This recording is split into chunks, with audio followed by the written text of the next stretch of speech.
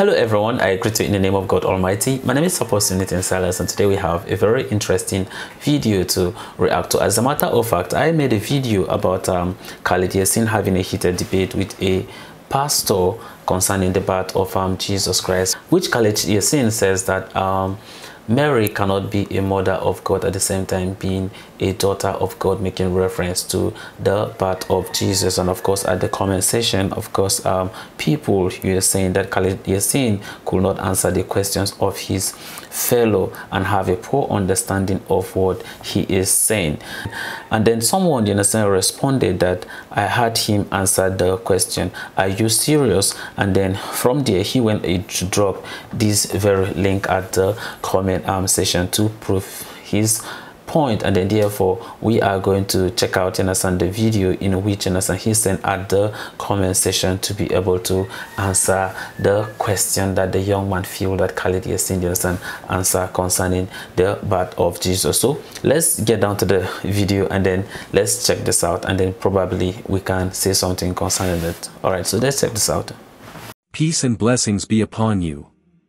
Welcome to this video where we take a journey through history to explore the words of some of the most influential figures about one of the greatest men in history, Prophet Muhammad, peace be upon him.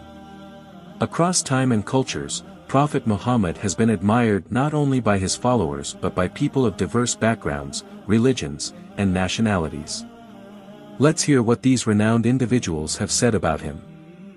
Before we dive into the reflections of what the great historical figures have said about Prophet Muhammad, peace be upon him, let us first hear what Allah says about Prophet Muhammad, peace be upon him, in the Holy Quran.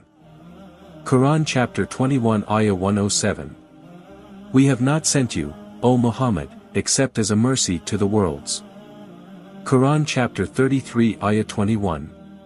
Verily in the messenger of Allah you have a good example for him who looketh unto Allah and the last day, and remembereth Allah much. Quran chapter 68 ayah 4. And indeed, you are of a great moral character. Michael H. Hart, author. Michael Hart spent 28 years researching before publishing his book, The 100, a ranking of the most influential persons in history in 1978. He ranked Prophet Muhammad peace be upon him as the most influential person due to his unique role as both a religious and political leader, founding Islam and shaping its growth. Michael Hart highlighted Prophet Muhammad peace be upon him direct influence on the religion's formation, the unification of the Arabian Peninsula, and the rapid spread of Islam.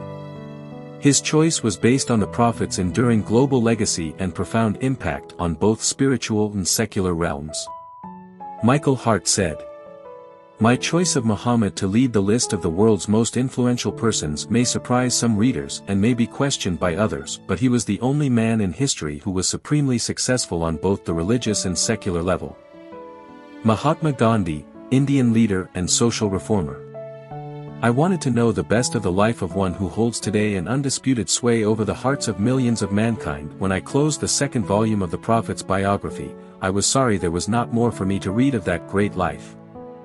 It is my conviction that the Prophet Muhammad's message was not confined to his own people and time. It is a message that has a universal appeal and application.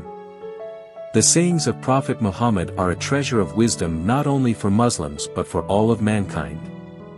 I became more than ever convinced that it was not the sword that won a place for Islam in those days in the scheme of life.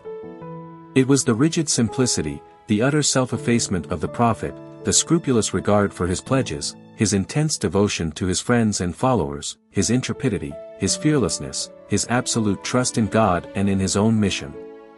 These, and not the sword, carried everything before them and surmounted every obstacle. Thomas Carlyle, Scottish philosopher, satirical writer, essayist, historian, and teacher. Thomas said, how one man single-handedly could weld warring tribes and wandering Bedouins into a most powerful and civilized nation in less than two decades. The lies Western slander which well-meaning zeal has heaped round this man Muhammad are disgraceful to ourselves only. A silent great soul, one of that who cannot but be earnest.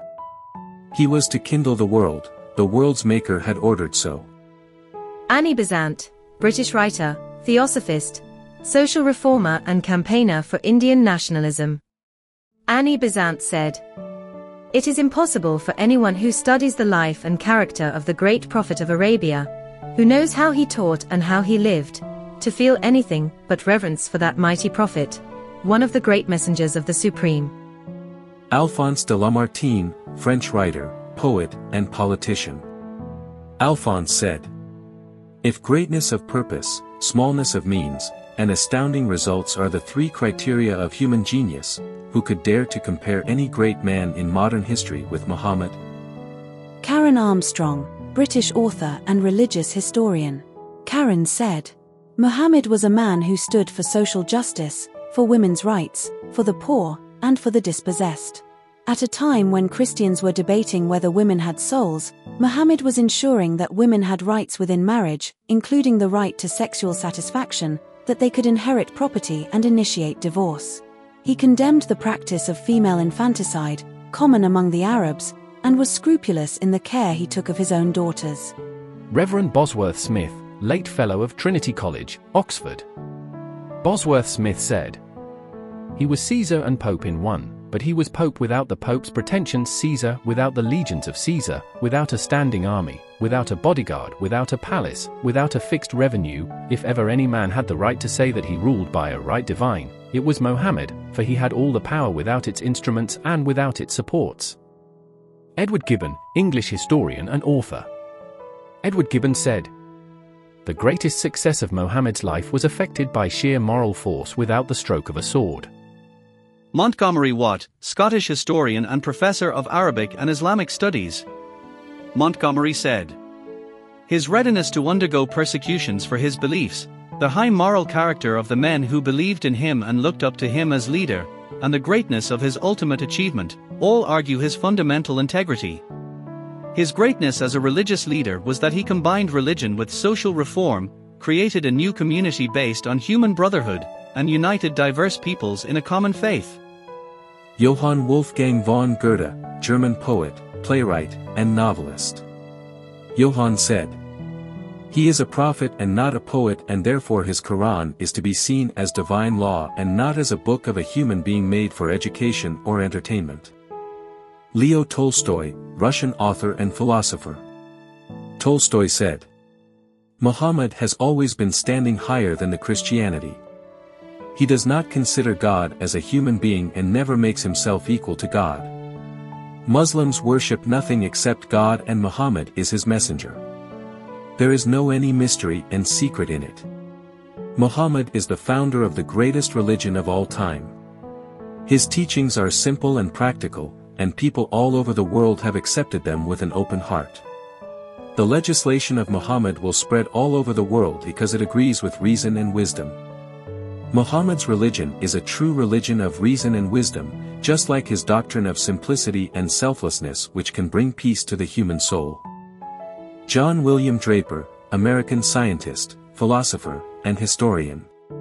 John William said, Four years after the death of Justinian, AD 569, was born at Mecca, in Arabia, the man who, of all men, has exercised the greatest influence upon the human race. Jules Masserman, American psychiatrist and professor of the Chicago Institute of Psychoanalysis. Jules Masserman said, Leaders must fulfill three functions, provide for the well-being of the led, provide a social organization in which people feel relatively secure, and provide them with one set of beliefs. Perhaps the greatest leader of all times was Muhammad, who combined all three functions. To a lesser degree, Moses did the same. Sarojini Naidu, Indian independence activist and poet. It was the first religion that preached and practiced democracy. For, in the mosque, when the call for prayer is sounded and worshippers are gathered together, the democracy of Islam is embodied five times a day when the peasant and king kneel side by side and proclaim, God alone is great. Nelson Mandela, South African anti-apartheid revolutionary and former president. Nelson Mandela said, the Prophet Muhammad's life is an inspiration to those who are struggling for freedom and human rights. His teachings and actions have helped people rise above oppression, injustice, and inequality. Islam has been an active partner in the struggle against racism and oppression. The Prophet Muhammad set an example for the world of how to stand against tyranny and injustice, something we, too, strive to achieve in South Africa. Washington Irving, American author and historian. Irving said, He was sober and abstemious in his diet and a rigorous observer of fasts. He indulged in no magnificence of apparel, the ostentation of a petty mind, neither was his simplicity in dress affected, but the result of a real disregard for distinction from so trivial a source. In his private dealings, he was just. He treated friends and strangers, the rich and the poor, the powerful and the weak, with equity, and was beloved by the common people for the affability with which he received them. K.S. Ramakrishna Rao, Indian professor of philosophy. Rao said, The personality of Muhammad, it is most difficult to get into the whole truth of it, only a glimpse of it I can catch. What a dramatic succession of picturesque scenes. There is Muhammad, the prophet. There is Muhammad, the warrior. Muhammad, the businessman, Muhammad, the statesman, Muhammad, the orator, Muhammad, the reformer, Muhammad, the refuge of orphans, Muhammad, the protector of slaves, Muhammad, the emancipator of women, Muhammad, the judge, Muhammad, the saint. George Bernard Shaw, the Irish playwright, critic, and polemicist. Bernard Shaw said, I have studied him, the wonderful man, and in my opinion far from being an antichrist, he must be called the savior of humanity. Mahatma Gandhi, Indian leader and social reformer. Gandhi said, The Prophet's name, peace be upon him, has to this day a wonderful hold over the hearts of millions of mankind. It is perhaps the most fascinating force on the earth. The Prophet was a great military genius, but he had the heart of a saint. His was not the sword of a conqueror, but the sword of a crusader for the truth. The more I study, the more I discover that the strength of Islam does not lie in the sword, but in the indomitable spirit and the high moral qualities of the Prophet. I have studied the life of Prophet Muhammad, peace be upon him, to the best of my ability, and I find that he was the one who taught mankind the way of equality, brotherhood, and peace. Through his actions, he provided a model for all humanity. As we've seen, Prophet Muhammad peace be upon him has left an indelible mark on history, and his life and message continue to inspire millions across the globe. These testimonies from some of the world's most influential thinkers and leaders are a reminder of his profound impact not just as a religious figure but as a man of moral integrity, justice, and leadership. Whether it is his message of peace, his call for unity, or his emphasis on compassion, Prophet Muhammad's legacy remains as relevant today as it was centuries ago. Thank you for watching. If you found this video insightful, don't forget to like, comment, share, and subscribe for more content. Why do you say that uh, the church says that God impregnated a woman? That is not what the church believes. Well, to be honest with you, uh, what the church believes and what the church says, they said 354 years after Jesus Christ. So I don't think that 354 years after Jesus Christ, whatever the church came up with at the Council of Ephesus or the Council of Nicaea, I don't think it holds any legitimacy when we connect it to the 19 statements that I could quote to you about who Jesus said that he is. Excuse me? Well, why don't you read it for us?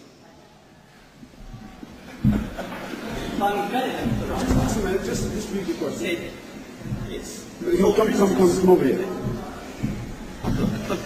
I'm, I'm, I'm sorry about this, but No, no, I'm sorry. Just, uh, okay. uh, uh, just I said, why do you say that the church says that God impregnated a woman, and the word I'm saying is impregnated. That is not what Christians, the church believes. Christians believe that Mary, as a virgin, not impregnated by anyone, therefore, Mary, as a virgin, empowered by God, gave birth to Jesus. I'm not talking about whether Jesus is God or anything else like that. What I'm talking about is why do you make the allegation that Mary was, why do you say that Christians say Mary was impregnated by God when we say something different? All I'm asking you is to represent Christians and their beliefs fairly. Now, if you've done it out of not knowing, I don't mind. But Christians don't believe that God impregnated Mary. They believe that God empowered Mary to give birth to a child, which is, I think, what you believe. You don't. Well, Don't, don't ask me what I believe. But Just it's- state your question, Yeah. then I'm going to answer you. What Okay. I'd like you to do is, um. you might have a little follow-up, so why don't you sit right there while I answer? Oh, okay.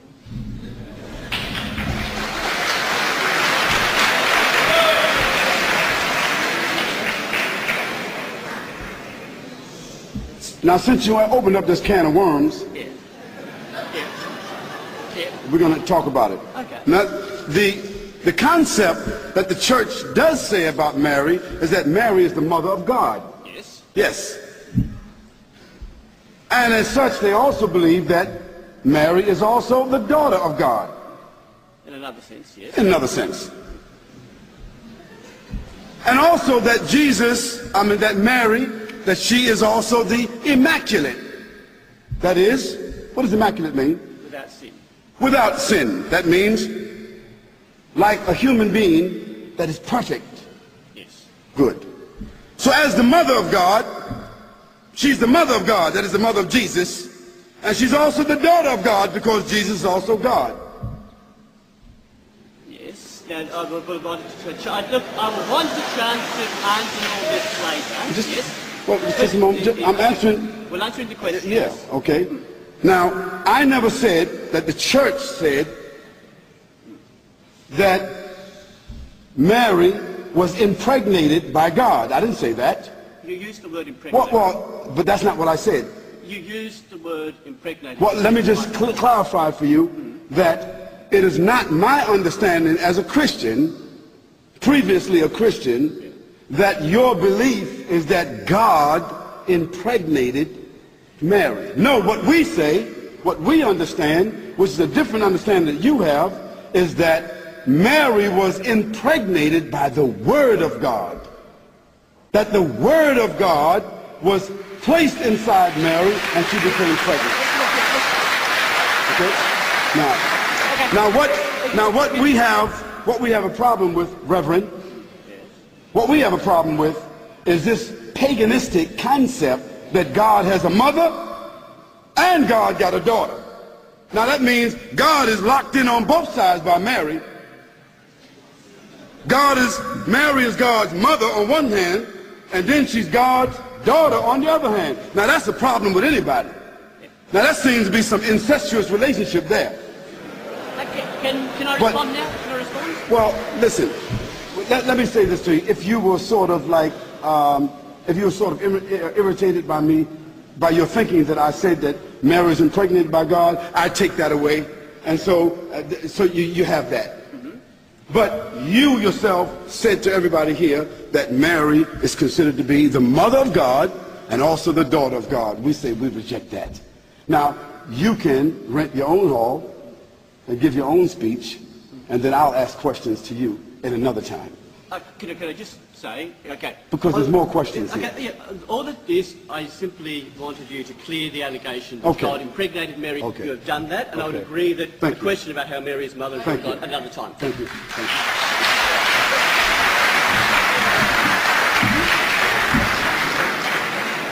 Okay, uh, we, we want to thank um, we want to thank our friend, and uh, and no aspersion meant to the Catholic Church at all. Just a matter of concepts. Thank you very much. Well, that's a very interesting um, video listening to this. But then you can bear with me that, of course, um, we have listened to a couple of um, people that was mentioned, you understand, in the video talking about, you understand, the great mind and then talking about the character of who Prophet um, Muhammad, you understand, was. And of course, some couple of people, you understand, states their opinion. We could talk about um, Mahatma Gandhi, Michael Hart, Karen Armstrong, Johan, Leo, Draper, John, Nayadu, Nelson Mandela, Rio, George Bernard, of course, all of them say one thing about um, Prophet Muhammad, and that is about his greatness and influence to humanity.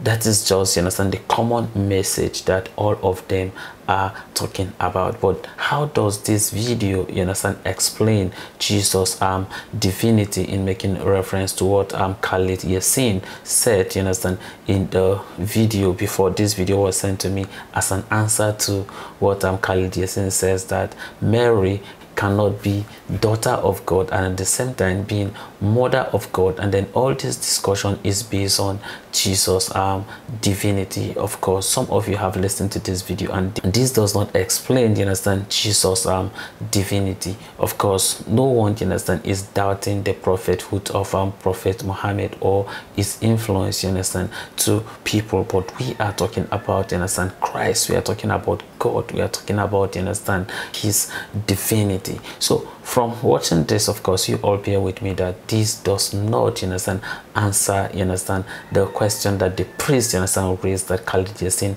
attempted you understand to respond um, to it. But of course i would still like to hear your thought and opinion at the comment um, session and then we will still progress from there. So this is the end of my video. If you like my reaction should like share and subscribe. And if you have any video you want me to react to don't forget to drop it at the comment section and i'm going to check it out. So you remain blessed and i see you in my next video.